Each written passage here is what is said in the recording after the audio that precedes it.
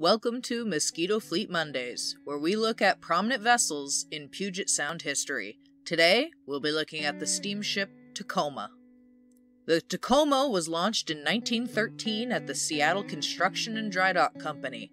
The Puget Sound Navigation Company had requested a fast, steel hulled passenger vessel for the Seattle to Tacoma route.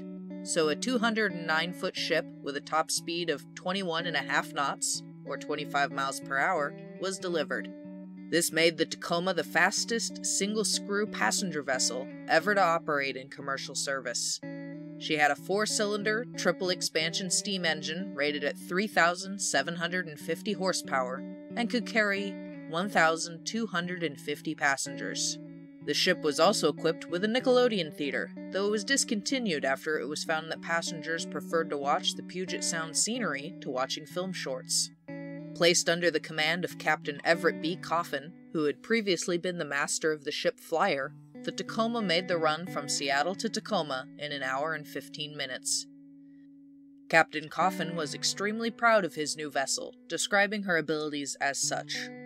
Previous to becoming master of the SS Tacoma in 1914, I had been mate and master of the SS Flyer for 12 years, and I was a little doubtful if the Tacoma could equal the workings of the Flyer.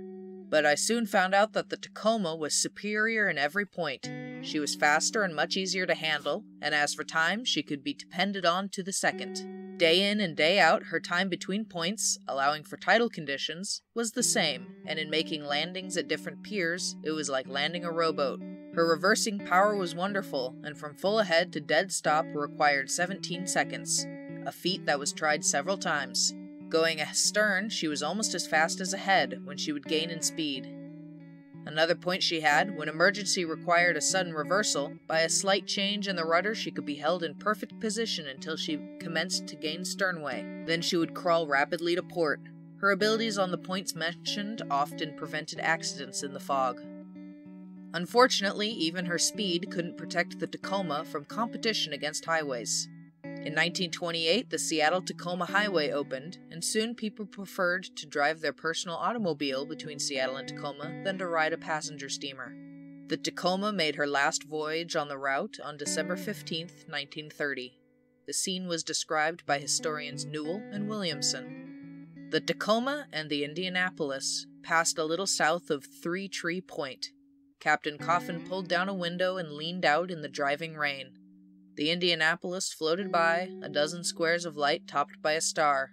She spoke three long, lingering blasts. Captain Coffin reached for his own whistle cord. Three long blasts. And he let the last blast die away slowly until it was only a moan in the throat of the whistle. That's the last time we pass each other, he said. After this, the Tacoma moved to passenger and excursion service, doing sightseeing trips around the Puget Sound. This lasted until 1938, when the ship was sold to the Seattle Iron and Metals Corporation for scrapping.